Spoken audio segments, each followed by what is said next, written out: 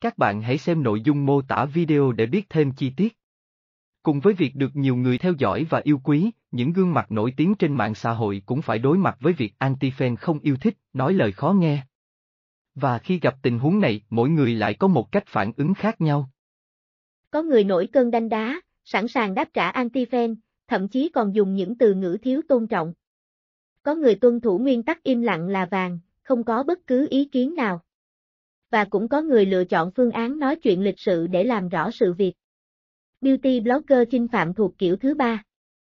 Chinh phạm Mới đây, phía dưới một bài đăng nói về việc cung làm quảng cáo nhiều khiến người xem tráng nản, một dân mạng đã để lại bình luận gây gắt, chinh phạm.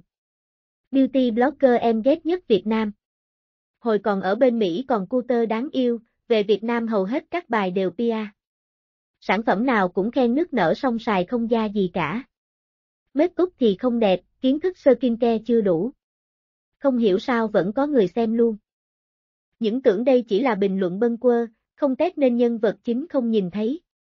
Ai ngờ Trinh Phạm đã bất ngờ xuất hiện và trả lời bình luận của dân mạng nọ.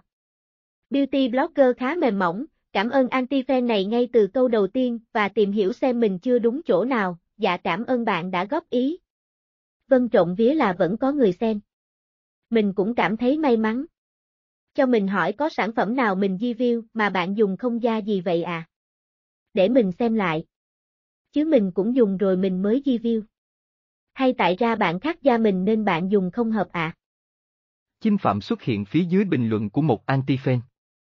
Khi người này cho biết mình từ fan chuyển sang anti-fan và xưng em, chị thì chinh phạm cũng chuyển ngôi nhưng vẫn quyết tâm làm rõ vấn đề với giọng điệu cực nhẹ nhàng, em cứ cho chị vài cái tên đi. Nói chung chung thì chị cũng không rõ ý, cái nào mà em mua rồi em dùng ý nhé chứ không phải nghe từ các bạn khác ở group nhóm nào đâu. Cho chị biết cả tình trạng da của em lúc đó này, rồi dùng xong em bị kích ứng hay gì này, rồi da em là da gì này. Da chị là da thiên dầu nhạy cảm và dễ bị mụn. Có vấn đề gì cứ inbox trên pay hoặc Instagram chị để chị giải đáp cũng được mà. Chứ em bảo cái nào cũng dở thì chị không tin đâu. Màn đối đáp đi vào lòng người của Trinh Phạm. Câu trả lời của anti-fan nọ. Hiện tại cả Trinh Phạm lẫn anti-fan này không có thêm bất cứ phản hồi nào nữa tuy nhiên hai bình luận của beauty blogger này đều nhận được rất nhiều lượt thả tim của dân mạng. Ảnh, tổng hợp